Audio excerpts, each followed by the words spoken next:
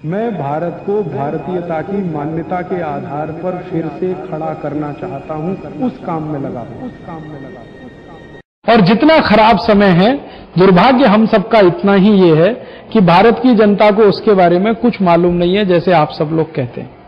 पढ़े लिखे लोगों को तो बिल्कुल नहीं मालूम है, साधारण लोगों को तो उससे भी ज़्यादा नहीं मालूम। और भारत की जनता को नहीं मालूम हो ये सब बातें, इसके लिए बारह तेरह साल से इस देश में एक बड़ा भारी काम हुआ है। उस पर अगर कोई रिसर्च करे तो बहुत चौंकाने वाली बातें निकलेंगी। पिछले 10-12 साल में जानबूझकर इस देश में क्रिकेट को प्रमोट किया गया है। और इतना प्रमोशन किया गया है कि समाज का सोचने वाला वर्ग क्रिकेट में फंस जाए। और बाकी सब कुछ सोचना बंद कर दे।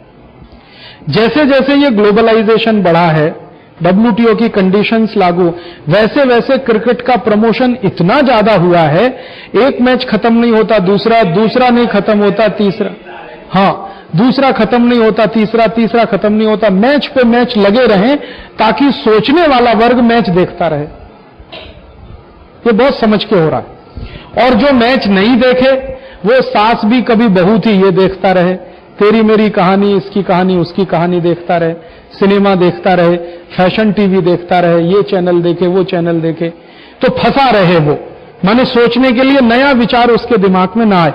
और उसका दुष्परिणाम हमें दिखाई दे रहा है कि भारत का मिडिल क्लास और अपर मिडिल क्लास जो इसमें सबसे आगे आना चाहिए था, वो सबसे ज़्यादा खामोश बन के दस बारह साल से देश को लुटता हुआ देख रहा है। बहुत व्यवस्थित तरीके से ये बारह साल से हुआ, ये तो बिल्कुल मुझे साफ़ दिखाई देता है। जिन घरों में, परिवारों में पहले टीवी नहीं था, उनको जरा पूछो जाके कि कैसे होता था। सवेरे से शाम तक की हर गतिविधि पे चर्चा होती थी, बहस होती थी। अखबार में ये खबर आई है, मैगजीन में ये खबर आई है, इसका मतलब क्या है, इससे क्या होने वाला है, क्या नहीं। एक कुतूहल होता था, उत्सुकता होती थी। या हम पड़ोसियों के पास जाते थे, पड़ोसी हमारे पास आते थे, मोहल्ले में चौपालें लगती थी, गाँव में चौपालें लगती थी, चर्चाएँ होती थी, बहस होती थी। रिश्तेदारों के यहाँ हम जाते थे, रिश्तेदार हमारे यहाँ आते थे, ये सब होता था। लेकिन जब से ये घर घर में सास भी बहू थी, तेरी मेरी कहानी, उसकी कहानी, इसकी कहानी, ये जो चैनल आ गए और क्रिकेट का मैच आया, सब घर में सारी व्यवस्था टूट गई। अब कोई किसी रिश्तेदार के यहाँ जा नहीं रहा है, कोई किसी के यहाँ आ नहीं रहा है। गलती से आप कहीं चले भी जाओ तो टीवी चालू है तो कोई बात करने को तैयार नहीं है। और आप एक वर्ग जो भारत का कर्मठ है, कर्मशील है, उसको क्रिकेट में फंसाओ और दूसरा वर्ग जो घर व्यवस्था को संभाल सकता है, उसको सास बहू में फंसाओ।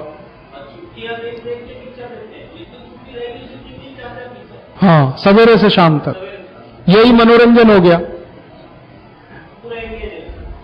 और आपके पास जब इतना एंगेजमेंट आ गया, अब आप देश की सोचोगे क्या, समाज की सोचोगे क्या, करोगे क्या? तो 10-12 साल में ये बहुत व्यवस्थित हुआ है इससे। एक तरफ़ ये लूट खसोट चालू हुई है, दूसरी तरफ़ इसके खिलाफ विद्रोह ना हो जाए, उसके लिए जो वर्ग मदद कर सकता है उसको फंसा दो टीवी में। और टीवी में, क्रिकेट में, क्रिकेट से, सीरियल में, सीरियल से सिनेमा में सिनेमा सिनेमा के बाद और थोड़ी कुछ बकवास में। और आप देख लो आज इस देश का जो एजुकेशन से लगा हुआ वर्ग है, विद्यार्थी, अध्यापक, वो भले कितनी परीक्षा पे परीक्षा हो क्रिकेट देखने से नहीं चुकेगा, भले फेल हो जाए इम्तहान। और वो कभी कभी टेस्ट करते हैं कि भारत में दीवानगी कहाँ तक पहुँची है। तो समझ बूझ के ऐसे समय में क्रिकेट मैच रखते हैं जब परीक्षा ज़रूर हो।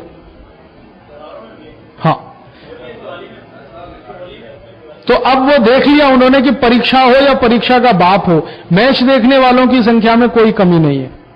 तो वो समझ गए कि अब ये जुनून बहुत ऊपर तक पहुँच गया। अब इस जुनून को एन कैश कराते रहो और दिमाग आपका इधर लगाते रहो। वही हो रहा है।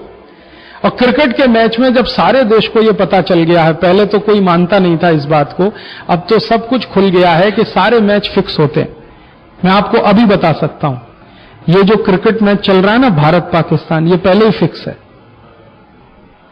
एक मैच भारत जीता, एक पाकिस्तान जीता, एक ड्रॉ और अभी जो सीरीज़ चल रही है, इसमें भारत एक मैच से जीतेगा।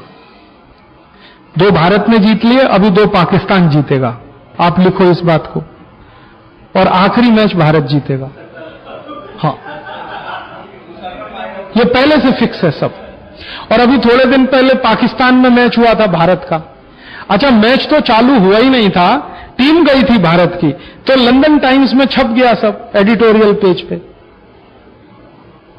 कि भारत और पाकिस्तान के ये जो श्रृंखला है, वो फिक्स हो गई है। और जो रिज़ल्ट थे, वही आए वहाँ पे। और ये जो अभी आखिरी मैच हारा इन्होंने, ये जो टेस्ट मैच हारा, कौन सा मैच हारा? जिसमें दो दो तीन तीन रन पे, वो फिक्स था पहले से, हार नहीं है इनको। तो हर एक को दो दो तीन तीन रन बना के जाना है।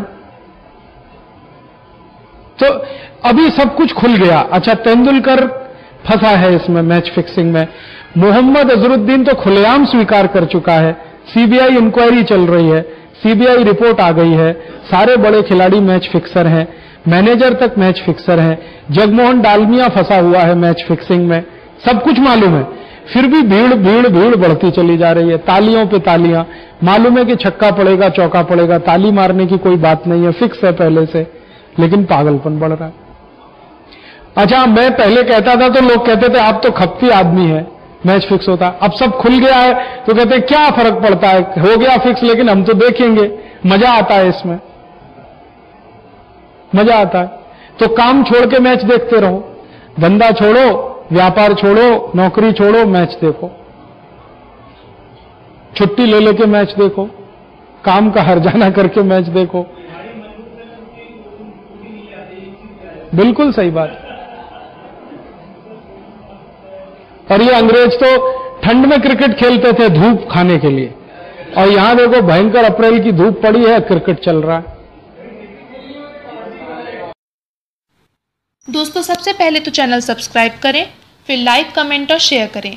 और हाँ हमारा एंड्रॉयड ऐप डाउनलोड करना ना भूलें।